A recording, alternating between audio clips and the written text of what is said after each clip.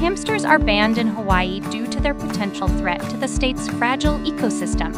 As non native species, they can disrupt the natural balance by outcompeting native species for resources and spreading diseases. Hawaii's unique flora and fauna are particularly vulnerable to invasive species, prompting strict regulations to protect the environment. Thus, hamsters are prohibited to prevent ecological harm.